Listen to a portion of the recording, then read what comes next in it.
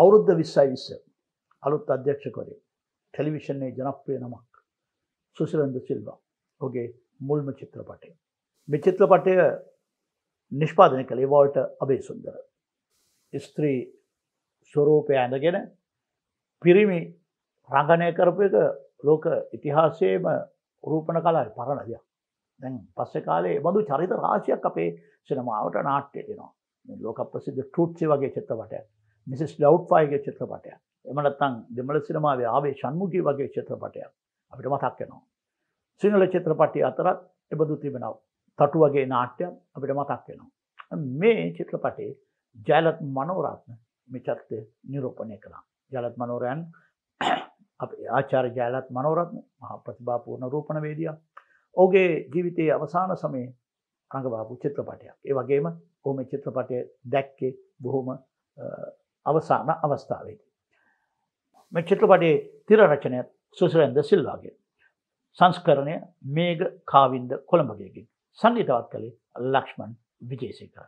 ඔහු අදාපාතර නැහැ. කැමරා අධ්‍යක්ෂණය කළේ අයිශ්මන්ත හෙට්ටි ආරච්චි.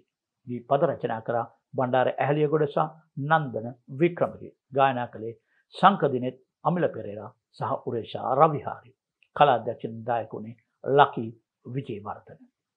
චිත්‍රපටේ ජයලත් මනෝරත්න ගිරරාජ් කෞශල්‍ය ජයලා රෝහණ දුලිකා මාරපන රෝෂාන් රණවන උදාරි පෙරේරා කුමාර තිරිමාදුර මාධවී මල්වත් ගයිත්‍ර ඩයිස් වසන්ත කුමාරසිරි ඇංචලෝ සංජීව් ෝෂධි හිමාශා කපිල සම්ප්‍රකෝන් කුමාර මදුරස්සාගේ චරිත නිරූපණය කළා.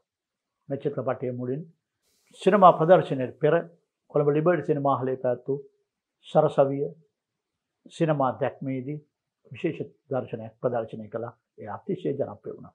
කොහොමුණත් කොවිඩ් ප්‍රසංගතයේ දෙවැනි රැල්ලේදී ආරම්භයත් සමඟ මේ චිත්‍රපටයත් තිරගත වුණේ මේ නිසා චිත්‍රපටය ප්‍රධාන ප්‍රදර්ශනයේදී ලබාගත යුතු ජනප්‍රියත්වය ඒ ආකාරයෙන් ලබා ගන්නට බැරි වුණා. චිත්‍රපටය විදෙස් රටවල් රාජ්‍යයක වගේම වර්තමානයේදී OTT ප්ලැට්ෆෝම් වල නරඹන්නට පුළුවන්.